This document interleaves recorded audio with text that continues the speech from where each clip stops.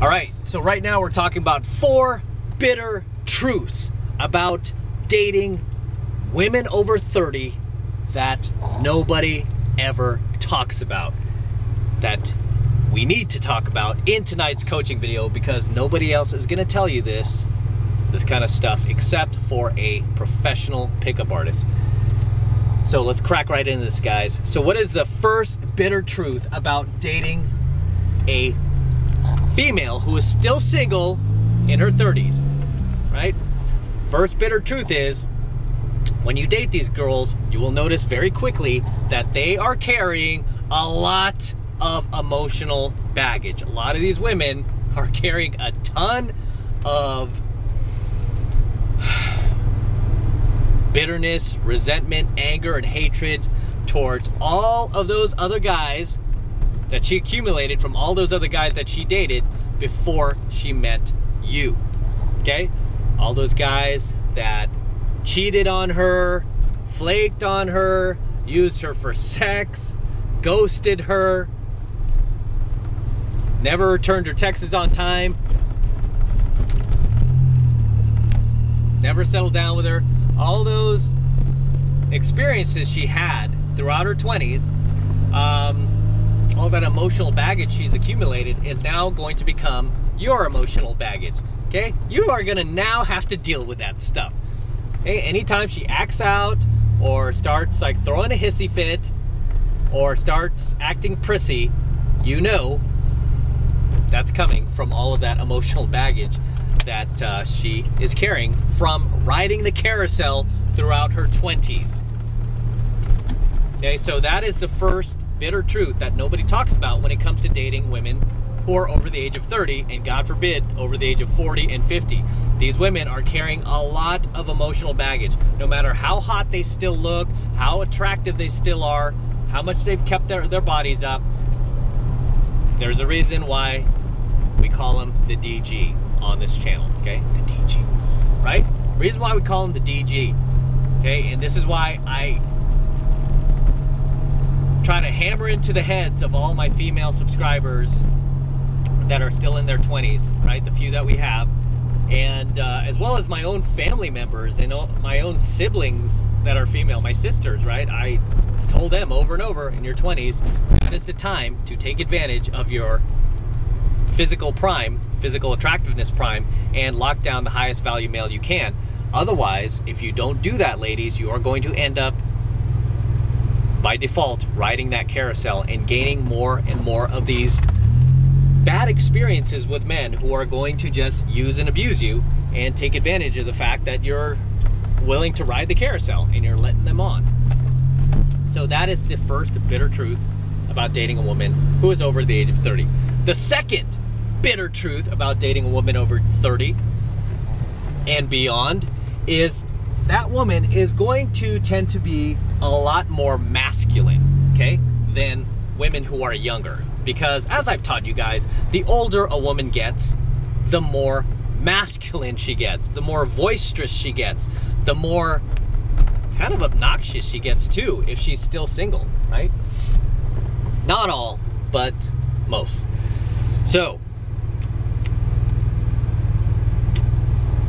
when you're dealing with women who are over the age of 30, over the age of 40, and 50, just understand that chick is going to be much more masculine than she was just 10 years earlier, 20 years earlier, 30 years earlier, right?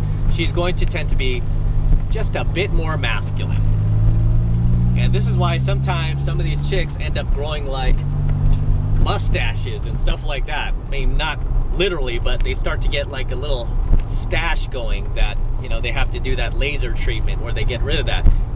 You know why that's happening? Too much testosterone, ladies. Not enough estrogen, okay? Because when you have estrogen, it's pretty hard to grow hair. You're not going to get all this. Not going to get that, right?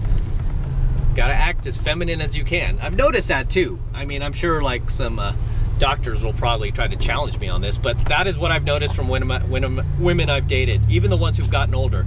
The ones who have remained feminine still look pretty feminine. They don't really have hair growing out up here or on their chin or anything like that, right? They've continued to remain feminine. So that is the second bitter truth that nobody talks about about dating women over the age of 30 is they tend to be more masculine. They tend to get more masculine. And the longer that chick stays single, the more masculine she becomes. All right, the third bitter truth about dating women over 30 that nobody will ever tell you except for me is that many of these women who are still single and over the age of 30 are actually on antidepressants. And you could look at the statistics yourself if you want to really get freaked out and see how high it is, right? You can see how many of these women are actually on these antidepressants. It's pretty scary how they're on, um, they're taking these meds. They're usually also seeing a therapist, a psychologist, right? And uh, so you really have to, you really have to pay attention to that. All right, this person in my rear view is filming. It's always, always kind of challenging to uh, shoot videos in this, uh, in my DeLorean because it just gets so much attention. It's insane. I go out with my buddy in his Lambo. My buddy has a, has a, I think it's like a 2015 Lambo. I forget which one he has, but uh, I go out with him sometimes and like he's just amazed. He's always amazed when he rides with me and he's like, dude, I think I bought the wrong car. he's like, this car gets like a thousand times more attention than mine does. So it's always funny. But in any case, back to the topic. Uh, yeah, that is the third bitter truth that nobody's ever gonna tell you when you date women over 30, guys. These chicks are gonna be on antidepressants. These chicks are going to be seeing a therapist, a psychologist. Okay? Do you want to be dating somebody who has psychological issues? Or who's taking medications because they're not mentally sane? I don't. And the fourth and final bitter truth about dating women over 30 that nobody talks about is this, and it's probably the most important truth, guys, is that many of these women who are still single and over the age of 30 are in fact single moms, right? They become single mothers, which means they have a child at home and sometimes multiple children from multiple different fathers.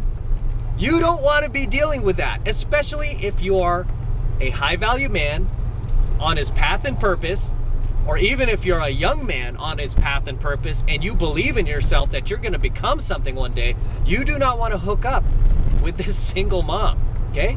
You don't want to hook up with this chick.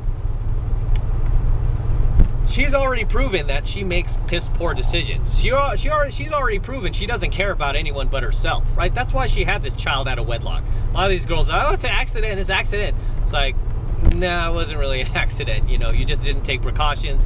And even if it was an accident, how come you didn't marry that guy? Why didn't you marry him? Oh, because he was an abuser. Oh, because he's a drug addict. Oh, because you don't you you don't turned out you don't like him as much as you thought you did, right? So what does that prove? It just proves that you have a bad picker, right? You make bad decisions. You don't vet these guys that you let have sex with you and impregnate you. You have short-term thinking.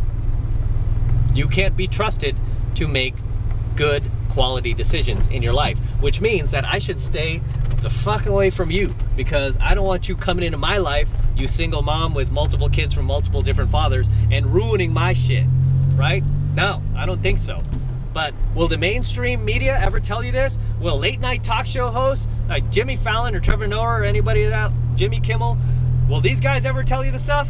No, they're never going to tell you this. Why? Because they'll get canceled, right? Because they can't say these things. Most of these guys are, in fact, pretty beta, okay? Pretty beta. And they're never going to tell you this stuff. They're never going to tell you that, hey, if you're going after these low hanging fruits, these chicks who are still single, over 30, that a lot of them are going to happen to be single moms which means you're going to have to take on the responsibility that another man left behind.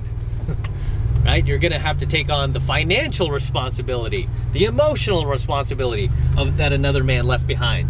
You're gonna have to deal with that kid when he starts acting out as a teenager. Once he hits his teenage years, man, look out, man. That boy is gonna come right after you. This is why I tell you guys, don't bother with these single moms. Just don't.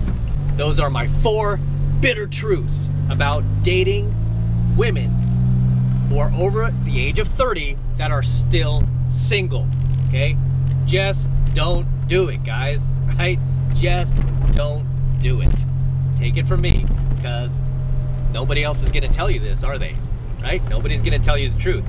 But I'm going to tell you the truth. Professional pickup artists will tell you the truth. And with that said, I'm going to wrap up here. Until next time, this is M from the 33 Secrets, signing out here from the DeLorean as I make that glorious U-turn. Don't forget to smash that like button below. Go ahead and smash right now. Also, hit the notification bell right next to it so that you're notified whenever I release a brand new coaching video here on the YouTube. More importantly, guys, please make sure you subscribe to my channel. Helps me out a ton when you guys actually subscribe. It tells YouTube you're loving my coaching videos, you're digging it, you're feeling it, and you want me to produce more of them. So please make sure you're subscribed to my channel as well. And for all you guys who want to support my work and all of this red pill, gold pill, and platinum pill content that I am teaching you even further, the best way to do that is by jumping into my monthly online coaching program, Seven Months to Mastery, where I'm teaching guys just like you how to go out there and approach and close the youngest, hottest, and most beautiful looking women on the planet. I'm talking about eights, nines, and tens. Same exact type of women that myself and all of my coaching students all around the world are out there approaching and closing every single week. And I kid you not, we are making things happen every single week all over the world, in every country in the world practically.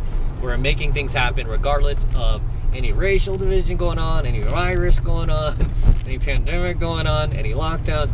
We are constantly making things happen and we're continuing to live our lives. And you know what? I want you to become one of us. I want you to join us.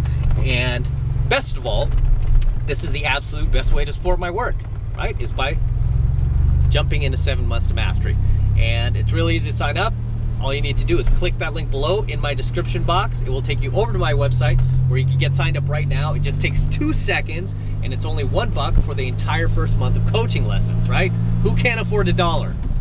Take advantage of it. Click that link below. Head over to my website, get signed up right now, and I will see you in there. And until next time, see you in the next coaching video.